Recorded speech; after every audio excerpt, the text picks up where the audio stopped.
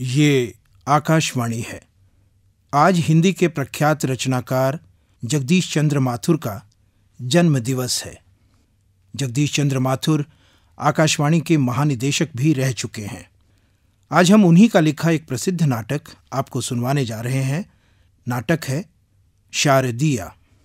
इस नाटक की पृष्ठभूमि ऐतिहासिक है। किंतु इस नाटक में ऐतिहासिक यथार्थ को समकालीन यथार्थ के साथ जोड़कर प्रस्तुत किया गया है।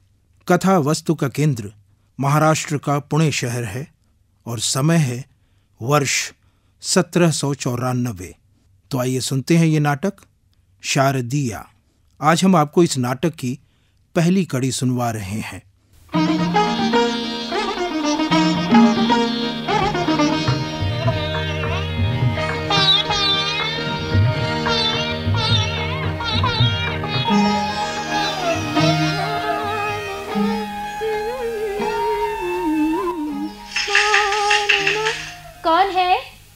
पिताजी घर में नहीं है।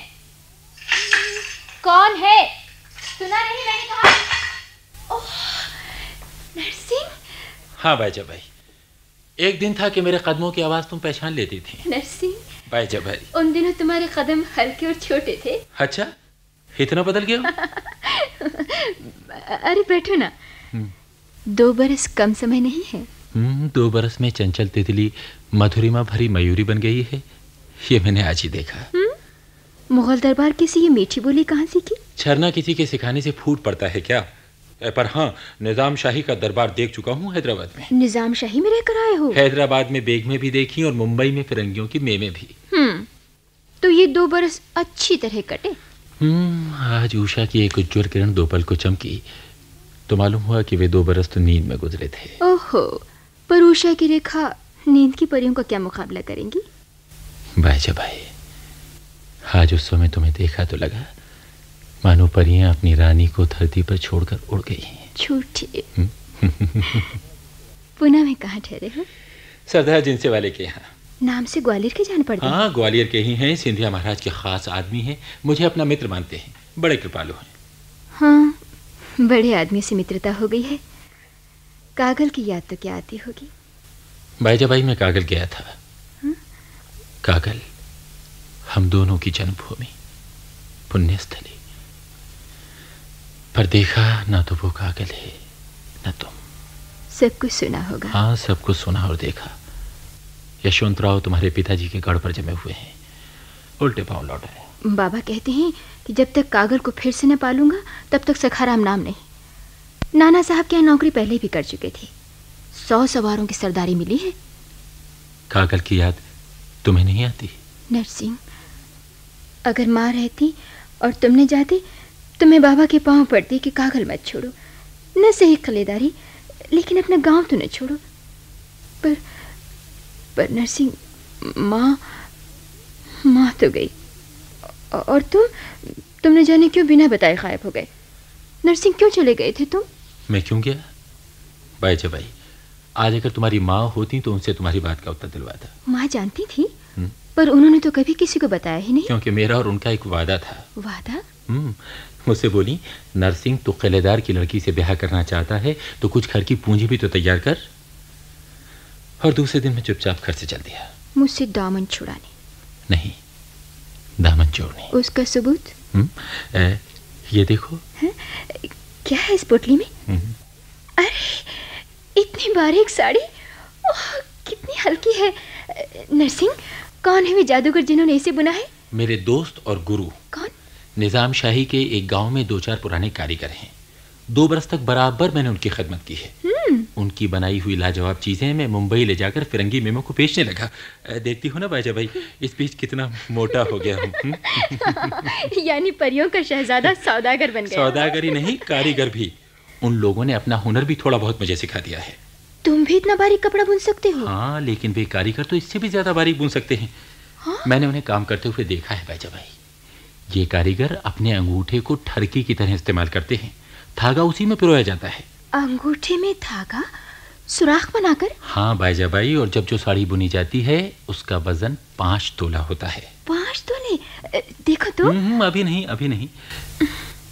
बाईजा भाई उसके लिए उसके लिए खास तिथि निश्चित करनी होगी। नरसिंह। हम्म। आज तुम्हारी माँ होती तो तिथि निश्चित करते देर नहीं लगती। नरसिंह बाबा से बात करोगे ना? सोचा तो यही था लेकिन लेकिन मुझे फ़ौरन लौट जाना है। सौदागर फिर अपने काफिले को लौट चला। भाई जबाई ये दूसरा काफिला है। एक पूंजी इकट्ठी कर ली अब दूसरी इकट्ठी करनी है।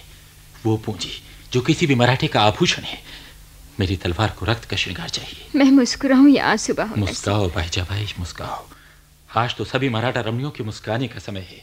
श्रीमंत पेशवा के झंडे के नीचे आज बहुत दिनों के बाद सभी मराठा प्रमुख एकत्र हुए हैं। निज़ाम को अपने दुराग्रह का परिणाम भुगतना ही पड़ेगा। नरसिंह युद्ध क्षेत्र में जाने से पहले एक बार मिलोगे ना? नहीं पुनः नहीं लौटूँगा। इसीलिए भाई जबाई तुमसे मिलने आया हूँ। तुमसे विदा लेने। दो बरस हुए। कागल छोड़ने से पहले भी तुम शरद पूर्णिमा को ही आए थे।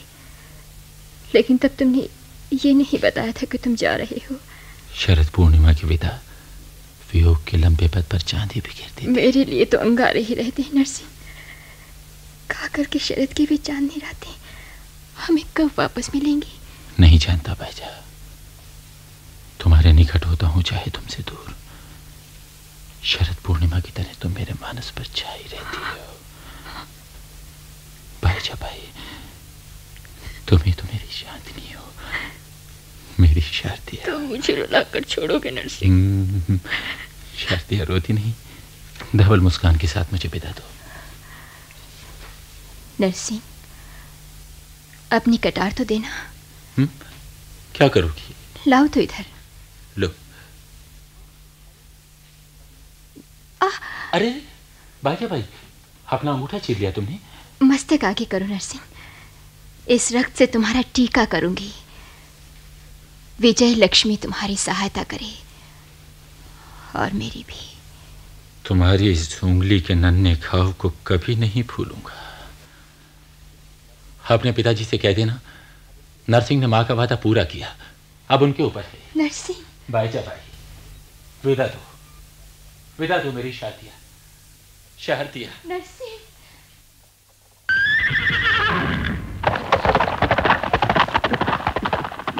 लाओ मैं पट्टी बाँध। दू कौन? सरना भाई। ये खाओ हरा ही रहने दो सरना बचपन ना करो छोटी मालकिन। लाओ मैं बाँध दूँ। मेरा बचपन मुझे वापस दिला दे सरना भाई। सरकार आते ही होंगे। सरना? जी। बाबा से तो कह सकेगी। कह तो देती पर सरकार का विश्वास मेरे ऊपर से उठ गया है। तेरा भ्रम है सरना। माँ के समय से तू हमारे साथ रह रही है। तुम्हारे बापू ने कोई और राह पकड़ ली है बाजा भाई और अब ना वो नीचे निगाह डालते हैं और ना पीछे। प्यार के फूलों को तो ठोकर लगेगी ही। चुप हो सरना भाई मैं तेरी बात झुटलाऊँगी लज्जा त्याग कर मैं स्वयं कहूँगी बाबा से मन की बात। और मना लूँगी उन्हें। निश्चय ही निश्चय ही। मालिक आ रहे हैं शायद। सरना जा तू जा अंदर जा। और सुन इस साड़ी को अंदर संभाल कर रख दे। हाँ ठीक है ना?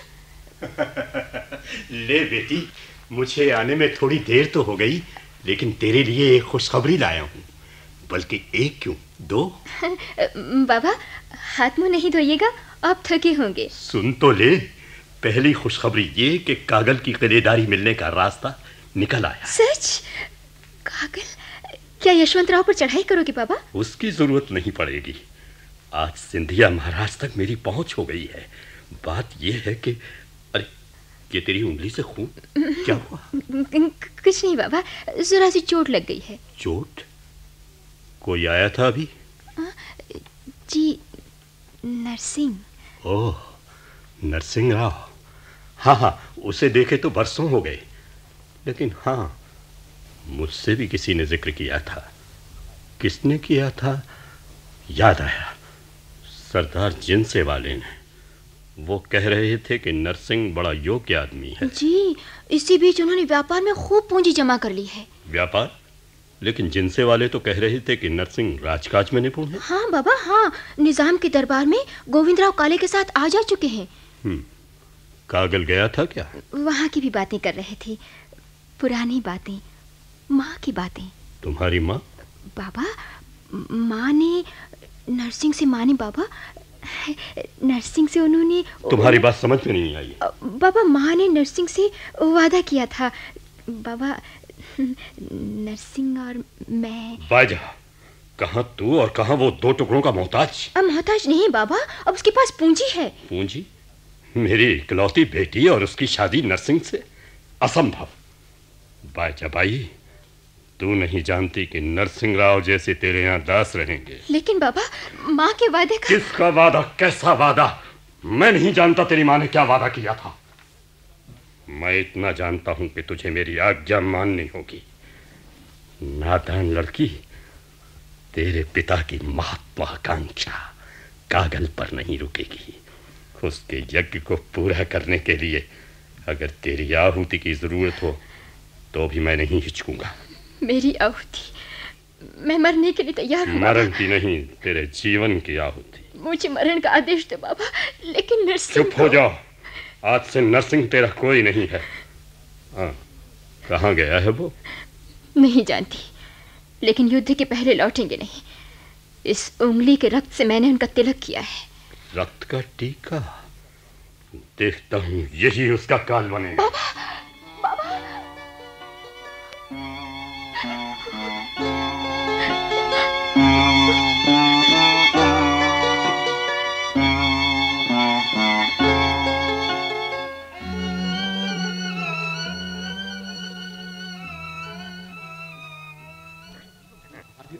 भाऊ साहब एक सवाल बार बार मेरे मन में आता रहा है। कौन सा सवाल बाबा फड़के? खरदा नदी का ये किनारा आपके शिविर के लिए उतना सुरक्षित नहीं है। ऊबड़ खाबड़ और झाड़ झंकार से भरे इस किनारे तक शत्रु आसानी से आ सकता है। यही तो खास बात है। जानते हो इसी किस्म के झाड़ झंखाड़ वाले और ऊबड़ खाबड़ इलाके से शत्रु पर अच्छी तरह निगाह रखी जा सकती है। जी। लेकिन बाबा फड़के तुम सैनिकों की इतनी छोटी टुकड़ी के साथ क्यों गए? जी सैनिकों का साहस बढ़ाने। और दुश्मन ने तुम पर जो चोट की उससे क्या साहस बढ़ा फड़के? तुम्हें उल्टे पाँव लौट आना पड़ा। क्या चोट खाकर तुम्हारे लौट आने की बात निज़ाम तक नहीं पहुँची होगी? पहुँची है भाऊ साहब। क्या तुम्हारा भेदिया वापस आ गया सरदार जिन से वाले श्रीमन उसी ने बताया कि निज़ाम को आज सवेरे की इस घटना की खबर लग चुकी है। अपने भेदिया को अंदर बुलाओ। जरा सुने तो निज़ाम कितने पानी में है। अभी लाया महाराज। निज़ाम पर गहरा वार करना ही होगा। मैं सोच रहा था अभी समय नहीं आया। बाबा फड़के हूँ भाऊ साहब। बदला लूँगा। मैं बदला लूँगा। और आज सवेरे की घटना ने वो दिन निकट ला दिया है अलीजा। सियार ने शेर की पूंछ में दांत लगाने की हिम्मत की है। श्रीमंत पेशवा की जय हो।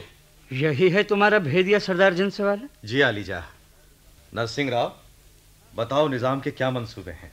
हाँ क्या समाचार लाए हो? निज़ाम की छावनी में जश्न मनाया जा रहा है आलिजा कहा जा रहा है कि बाबा फड़के पीठ दिखाकर भाग। गए झूठ! पीठ दिखाकर बिल्कुल झूठ! तुम ही तो कह रहे थे कि तुम्हारी पूछ पर दांत लगाया है। पूछ तो पीछे ही होती है। तो क्या दांत लगाने के बाद निज़ाम कोई पैंतरे भी दिखाना चाहता है? जी हाँ अलीजा लेकिन वो हमला नहीं नाच के पैतरे होंगे। निज़ाम अली की छावनी में सभी तरह का इंतज़ाम है। आज रात नाच की बात कह रहे थे नरसिंह। जी जी हाँ भाऊ साहब। हथियारों की मार से ज़्यादा चुभन होगी इस नाच में। साफ़ साफ़ बता दो ना नरसिंह राव। निज़ाम ने हुक्म दिया है कि आज रात के जश्न में एक तमाशा भी दिखाया जाए जिसमें नक्काल और भांड नकलें उतारेंगी। किसकी? आपकी बाबा साहब। आपके साथ ही भाऊ साहब नाना साहब और सिंधिया महाराज की।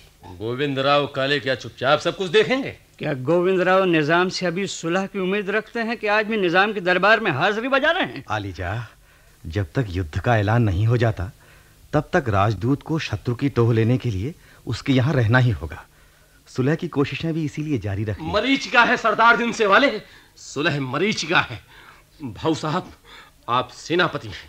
तुरही बजाने की आज्ञा दीजिए। वो भी होगा बाबा फड़के। अवसर की आड़ चाहिए। हमारे तोपचियों से कहो।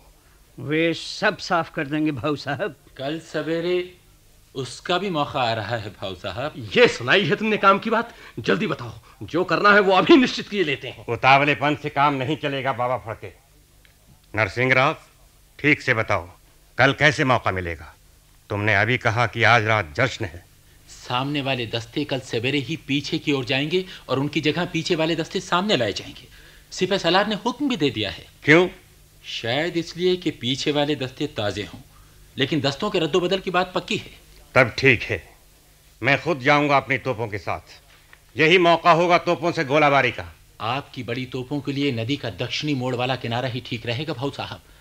उसके सामने ही वो घाटी है जिसमें होकर आगे वाले निज़ाम के दस्ते पीछे जाएँगे। ठीक। बहुत ठीक। वहाँ पेड़ों की आड़ भी है। तोपचियों के निशाने ठीक बैठेंगे आलीजा। और सुनो वो रास्ता भी जानते हो जिस पर से होकर रसद की गाड़ियाँ आ जा रही हैं। जी हाँ भाऊ साहब। किले के पीछे एक रास्ता है एक नाला है वहाँ। उसी पर चार नाव से एक तंग पुल बनाया गया है। तुम उन लोगों में घुल मिल कर जा सकोगे ना? मैं तो आज नाटक में उन्हीं नक्कालों के साथ रूप भी धरूँगा। ठीक है उन लोगों के साथ उसी रास्ते से जाओ और नाले का पुल काट दो। कोशिश करूँगा सेनापति। श्री पंत के आशीर्वाद से यह काम भी पूरा करूँ। शाबाश। गोविंद राव जी काले को आज ही सावधान कर दो। लेकिन मेरी एक विनती है सिंधिया महाराज। सेनापति जी मेरी एक ही मांग है आप ही सुने। इस युद्ध में हमारी जीत निश्चित है। श्रीमंत के झंडे के नीचे शक्ति का अजय पुंज एकत्र हुआ है। पर मेरी विनती है महाराज कि आप लोग निज़ाम पर विजय के बाद जब चौथ और उसकी उद्दंडता का निपटारा करने बैठे तो मराठा और निज़ाम राज्यों में स्पष्ट तौर पर घोषणाएँ कराएँ। बातें तुम्हारी निराली हैं लेकिन कहे जाओ कहे जाओ। पहली घोषणा ये महाराज कि दोनों राज्यों में हिंदू और मुसलमानों को अपने धार्मिक मामलों की पूरी आज़ादी रहेगी। और दूसरी घोषणा ये कि हिंदू और मुसलमान दोनों परमात्मा की एक बराबर की संतान हैं।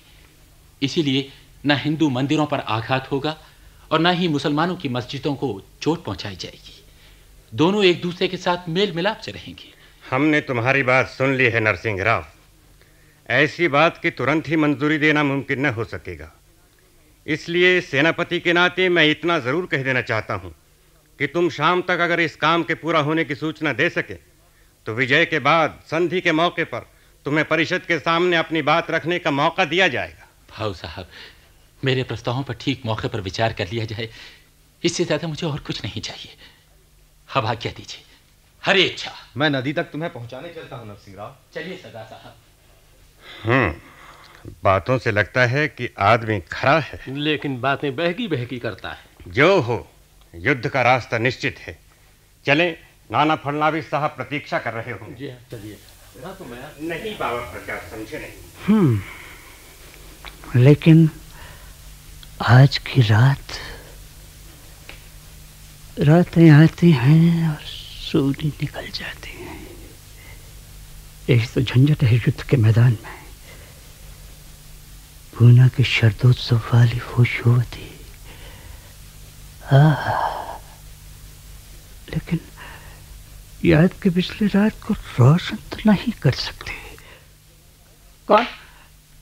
आ शरजराव घाट के। आप यहाँ कब से छुपे हुए थे? जितना अच्छा ही हुआ।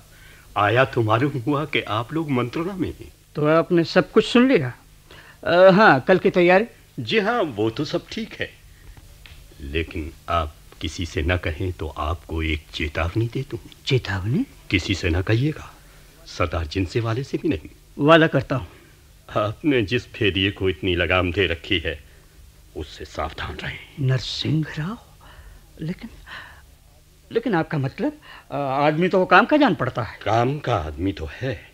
लेकिन सरदार जिनसे वाले का खास आदमी है और वे हमारे खास सरदारों में से हैं। और फिर जो समाचार उसने दिया है वो बिल्कुल ही सही जान पड़ता है। मैं कब कहता हूँ कि सही नहीं है। दस्तों की अदल बदल का समाचार सही हो सकता है। लेकिन सिंधिया महाराज विश्वासों की नींव पर ही छल की दीवार भी खड़ी की जाती है। क्या मतलब? सरदार जिनसे वाले से ज़्यादा अच्छी तरह मैं उसे जानता हूँ। कागल का ही रहने वाला है वो। हालिजा मुझे लगता है कि निज़ाम से उसकी मिली भगत है। गजब हो गया। तब तो परशुराम भाव को सावधान करना होगा। अभी नहीं। कल की योजना चलने दीजिए। मैं रातों रात अपने भेदिए को भेजता हूँ। कल यहीं आपसे मिलूँगा। और कल की तैयारी? चलने दीजिए आक्रमण के लिए प्रस्तुत रहना है। पर पीछे से कोई दगा न दे जाए इसकी भी तैयारी करनी है। अच्छा हुआ आप आ गए। सेवा तो धर्म है। ब्राह्मण हूँ। महाराज एक बात और। हाँ हाँ माला माल कर दूँगा आपको। उसकी बातें फिर होंगी महाराज। मेरी कुछ निजी कठिनाइयाँ कागल की किलेदारी आपकी सारी कठिनाइयाँ दूर हो जाएँगी। नाना साहब से कह चुका हूँ कि युद्ध के बाद वे आपको मेरी नौकरी में आने दें। यहाँ पदोन्नति भी कर दूँगा। अनुग्रहित हूँ सिंधिया महाराज। आज्ञा दीजिए कल यहीं। ठीक है। ठीक है। खौफनाक आदमी है। शमशीर की तरह। मुझे देह की प्यास है। उसे खून की लिखो।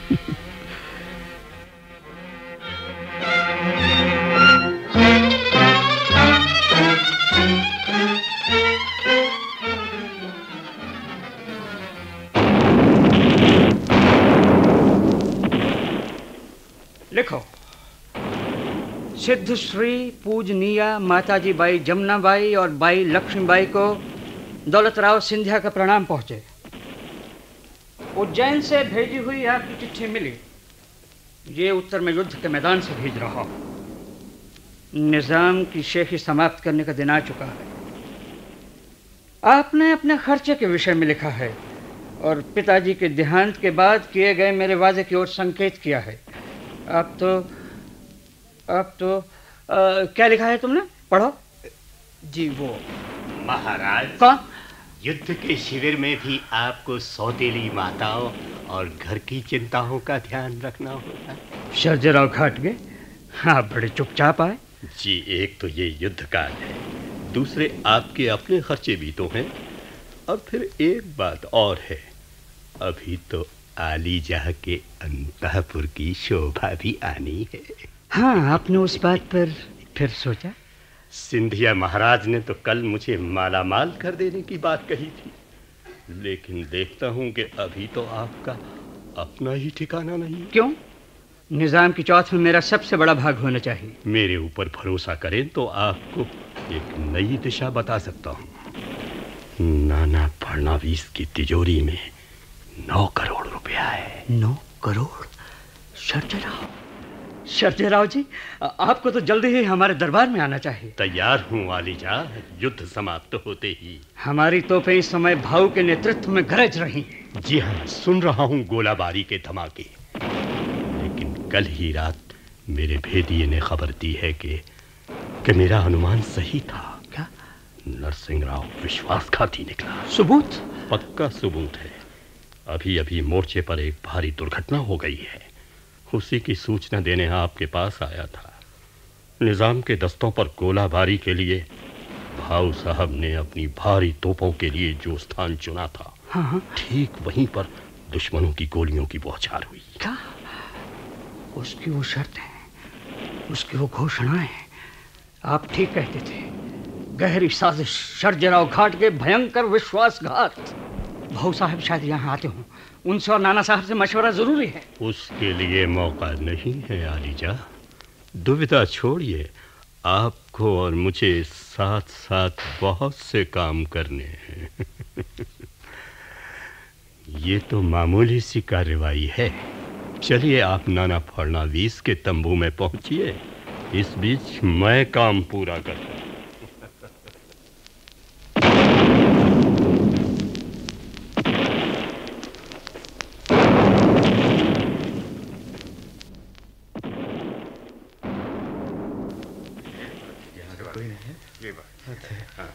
आपके माथे पर चोट ज़्यादा ही है भाऊ साहब। नहीं नहीं छोटा सा ही घाव है। कहाँ है सिंधिया महाराज? शिविर खाली है सरदार जिनसी वाले बाहर कोई अनुचर भी नहीं मिला। क्या उन्हें इस दुर्घटना की सूचना मिल गई होगी? शायद किसी हरकारे ने बता दिया। तब तो वे आक्रमण के लिए आतुर होंगे। नरसिंह राव की थोड़ी देर यही प्रतीक्षा करना ज़रूरी होगा। सरदार आप घोड़ा लेकर बाबा फड़के के पास दौड़ जाएँ। कहीं जल्दी में वो सवारों को हुक्म दे दें। मैं यही नर्सिंग का इंतज़ार करता हूँ। अच्छी बात है। आप थोड़ा आराम भी कर लें। अभी तो बहुत काम करने हैं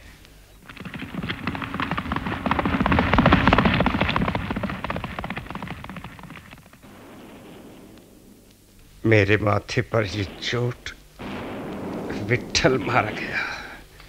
उसके बूढ़े पिता को क्या जवाब दूँगा? हाउ साहब। आ, आ गए नरसिंह राव निज़ाम के जश्न का क्या हाल हुआ? महफिल तो जम रही है लेकिन उनके पैर उखड़ रहे हैं। आपकी तोपों ने दुश्मनों में तहलका मचा दिया है भाव साहब। ये क्या? आपके माथे पर ये चोट? नरसिंह मेरा भतीजा विठल मेरे पास ही खड़ा हुआ तोपचियों को आदेश दे रहा था। उसी समय जाने कहाँ से गोलियों की बौछार आई और विठल वहीं ढेर हो गया। गोलियों की बौछार? लेकिन ये नामुमकिन है। निज़ाम के जिन दस्तों के पास बंदूकें थीं वे तो उस समय वहाँ थे ही नहीं भाऊ साहब। खैर उसे भूल जाओ। मराठा सेनापति आज तुम्हारे शब्दों की राह देख रहा है। बोलो क्या पुल काट दिया गया? जी हाँ भाऊ साहब। मैंने और मेरे उन्हीं कलामंद साथियों ने काट दिया पुल को। शाबाश नरसिंह शाबाश। मुशीरुल मुल्क मुट्ठी में आया ही चाहता है। उसकी रसद का रास्ता तो खत्म हो गया। अब हम इसी समय अपनी पूरी शक्ति से शत्रु पर आक्रमण करेंगे। सेनापति भाऊ साहब की जय हो। आपको आलीजा सिंधिया महाराज ने याद किया है। कहाँ है महाराज? नाना साहब फडणवीस के खेमे में। है? मेरे पास तो खैर चलो। बड़ी लंबी दाढ़ी बढ़ाई है तुमने।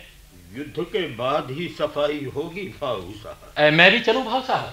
नहीं भाऊ साहब को अकेले ही बुलाया है। गोलियों की बौछार वो कहाँ से आई होगी? कुछ समझ में नहीं आता। खैर मेरा काम तो पूरा हो गया। काम अभी पूरा नहीं हुआ नरसिंह। कौन? ओह तुम? भाऊ साहब के साथ नहीं गए?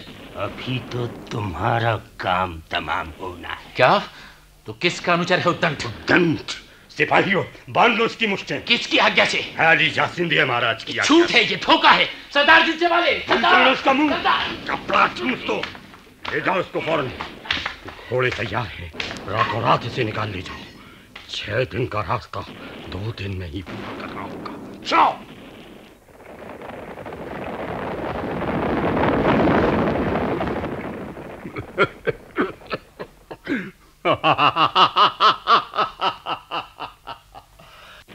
काम पूरा हुआ। जो सरजे राव की चपेट में आएगा ऐसे ही चूर चूर हो जाएगा।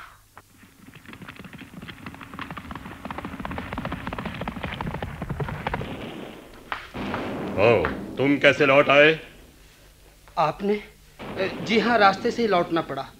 आपके पत्र में गणपति के लिए दूसरी आज्ञा का उल्लेख नहीं था। उसके लिए दूसरे आज्ञा पत्र पर आली जाके दस्तखत कराने हैं। वो दो दिन बाद भिजवा दूँगा। जाओ फ़ौरन जाओ। जो आज्ञा।